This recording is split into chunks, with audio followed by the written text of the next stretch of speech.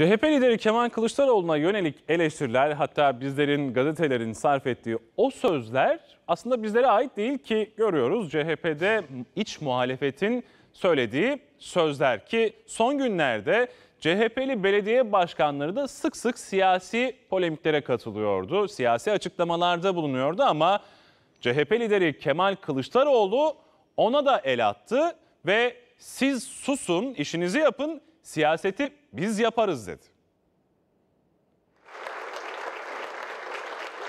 belediye başkanı arkadaşlarıma şunu söyledim. CHP'li belediye başkanlarının sık sık siyasi polemiklerle gündeme gelmesi parti içinde rahatsızlığa neden oldu. Devreye CHP Genel Başkanı Kemal Kılıçdaroğlu girdi. Belediye başkanlarına uyarılarda bulundu. Siyaset değil, iş üretim mesajı verdi. Kafalarına e, koysunlar ve e, bu çerçevede çalışsınlar. Kılıçdaroğlu Büyükşehir Belediye Başkanlarının ardından bu kez partisinin il belediye başkanlarıyla bir araya geldi.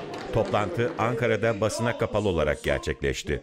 Yaklaşık 4 saat süren toplantıda yerel yönetimlerden sorumlu Genel Başkan Yardımcısı Seyit Torun da hazır bulundu. Görevden uzaklaştırılan eski Yalova Belediye Başkanı Vefa Salman da oradaydı.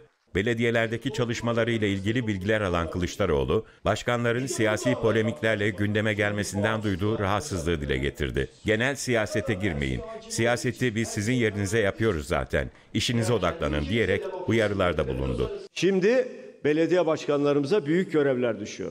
Yedi kurala bütün Cumhuriyet Halk Partili belediye başkanları uyacaklar. Kılıçdaroğlu belediye başkanlarına uymaları gereken 7 temel ilkeyi de hatırlattı. Siyasi polemiklerle gündeme gelmemelerini istedi.